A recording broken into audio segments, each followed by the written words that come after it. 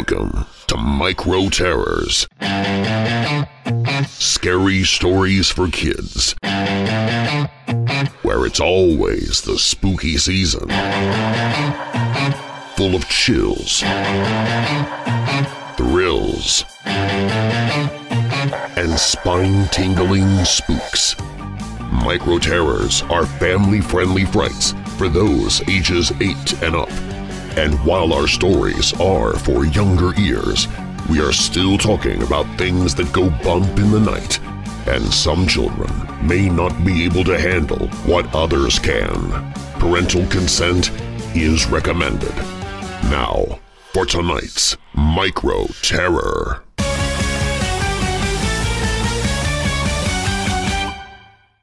Don't take the stairs. It was about time. After days of complaining about the strange noises in the woods behind our house, I was glad that my dad finally decided to check it out. I don't know why he waited so long, but that's neither here nor there anymore. He was finally going to do something about it, and he let me tag along with him. Since the weird noises always happened at night, he didn't think there was an actual threat during the day. Otherwise, I couldn't see him ever wanting to take me with him. I'd heard him tell my mom that the noises sounded like screams or loud chanting, like something you'd hear at a sporting event. That gave him the impression that maybe a group of local teenagers had found a cozy little nook in the woods in which to party or gather together. He also told her that on one occasion, the first night of the noises, he even saw some sort of red light creeping through the thick of the trees. I'd never actually been in these woods before. Not because I didn't want to, trust me, the temptation was always there, but because my parents said they weren't safe. Truth was, and now I was seeing it firsthand, that the woods were very thick. The trees were large, thorns were wrapped around hanging vines and sprouting off from bushes. My dad made me wear jeans, and thank God he did, otherwise my legs would have suffered a flurry of cuts and scrapes. I followed my dad closely, walking the exact same path as he did so as to not injure myself on the infinite dangers present. Uneven ground, jagged rocks, thorns and pricker bushes, snakes and poisonous insects, now I wasn't so sure the woods were any safer during the day than they were at night. "'Turn around,' I heard my dad say from only a few feet ahead of me. "'Huh?' I questioned, stopping where I was. My dad stopped as well and faced me. "'What?' he asked. "'You told me to turn around.'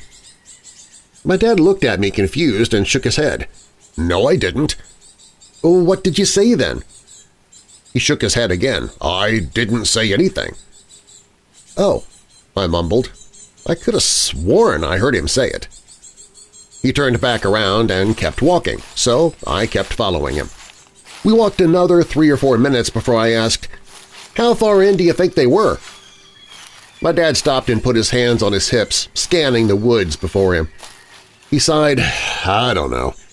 Couldn't have been too far. From where that red light was flashing from, it seemed kind of shallow. He looked from side to side before something caught his attention. He pointed through a thicket of overgrowth. There! he said with confidence. He started to veer off trail. Not that there was really a trail to begin with, it was more of an avenue of flattened vegetation, maybe from the teen partiers themselves. I hurried up behind him as he cut through the trees. "'Turn around now, Bradley,' he said as I got closer to him.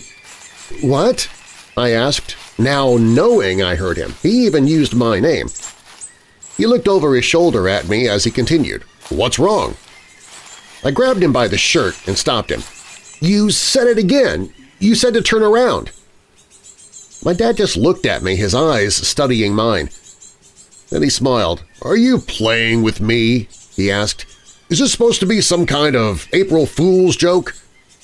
April Fool's? I snapped back. Come to think of it, it was April Fool's Day. I smiled back. Okay, you got me, I said. Got you with what? He genuinely seemed confused. I could do nothing but gawk at him. What was his game here? To confuse me? Make me think I was hearing voices and then blame it on me? What kind of April Fool's prank was this? I didn't say anything, Bradley, he said. I promise. Why would I tell you to turn around when I asked you to come out here with me? I didn't know what to say. I shrugged and he shrugged back, sort of mockingly. There's a clearing up here, he said, pointing in the direction he decided to take us. That's probably ground zero for Party Town, USA. Let's check it out. Together. I nodded and decided that the awkward back-and-forth accusations about pranking one another was better left in the dust. We kept walking through the brush and between the trees until I heard him laugh. "'I knew it!' he exclaimed, as if he won the lottery. "'Party Town, USA!' "'Where?' I tried looking past him, but couldn't really see anything yet. "'Don't take the stairs,' he added, a little less enthusiastic and more grim. "'What stairs?' I asked, still not able to see past him. My dad looked at me over his shoulders again. "'Huh? What do you mean, what stairs?' "'Didn't you just say not to take the stairs?' I aggressively asked, becoming more and more annoyed as each baffling minute passed. He rolled his eyes and kept marching ahead. I let out an annoyed grunt. "'Maybe I will turn around,' I said. "'This is so annoying!' I stopped myself before saying the rest of the word as we crossed through the tree line and into the natural clearing my dad led us to. We stopped, both of our jaws dropping in shock at what we saw. There was a stairway, built in the middle of the clearing, leading to nowhere and surrounded by stones placed about a foot apart from each other. Remnants of a large bonfire sat off to one side of it. "'Don't take the stairs,' my dad said. I looked up at him. "'Why would you know there were stairs here?' he added. "'What? I didn't. You did,' I said. "'You told me not to take the stairs.' "'No, I didn't,' he sternly responded. "'You knew this was out here? Have you been out here?' "'No, of course not,' I shouted back. My dad started to walk toward the stairs, and I was quick to reach out and grab him by the shirt. "'Don't!' I said. "'This whole place is weirding me out, Dad!' He pulled away from my grip and continued anyway. "'Maybe it's some kind of art,' he said, trying to ward off his nervous confusion by labeling the odd scene with logic. The closer he got to the stairs, the more anxious I felt. I jogged after him but stopped halfway, just as he reached the base of the odd structure. From where I was, I could see the stairs were mostly covered by moss, but the parts that were visible looked like old, warped wood.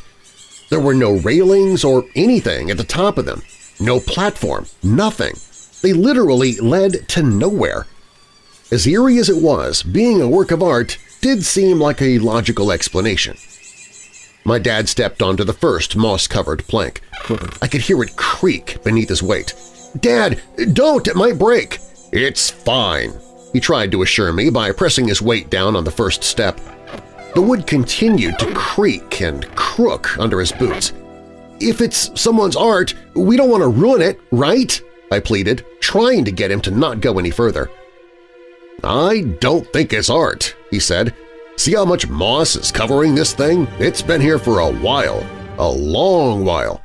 "'Then it's weak! Please, Dad, I don't want you to get hurt!' "'I won't,' he said, looking up the stairs.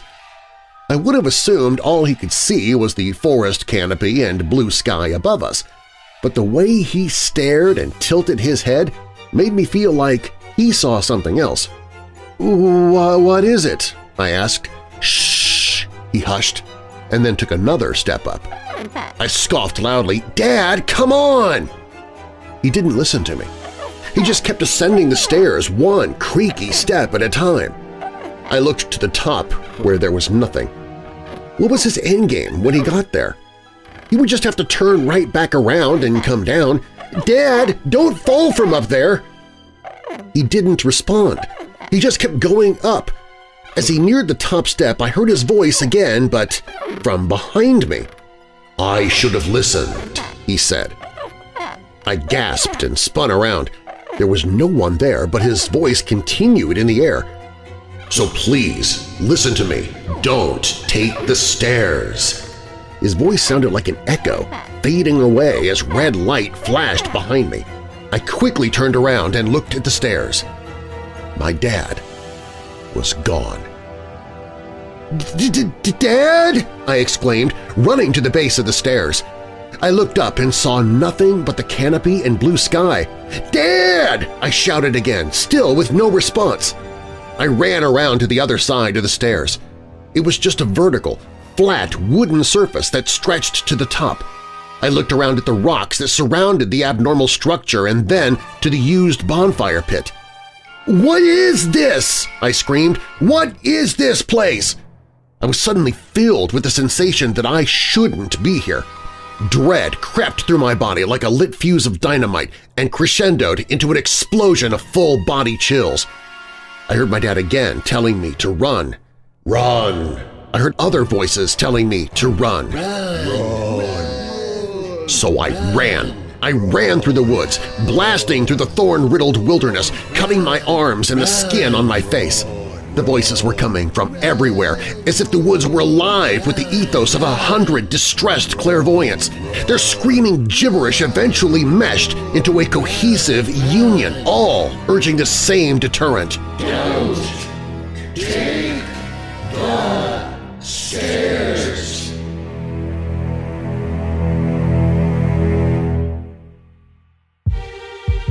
Thank you for listening to Micro Terrors. Join us each Saturday for another scary story. For more fun, visit our website at microterrors.com, where we will also have spooky games you can print out and play, like wicked word searches, mysterious mazes, and more. Microterrors.com is also where you can find us on your favorite social media and even send in your own scary story for us to tell.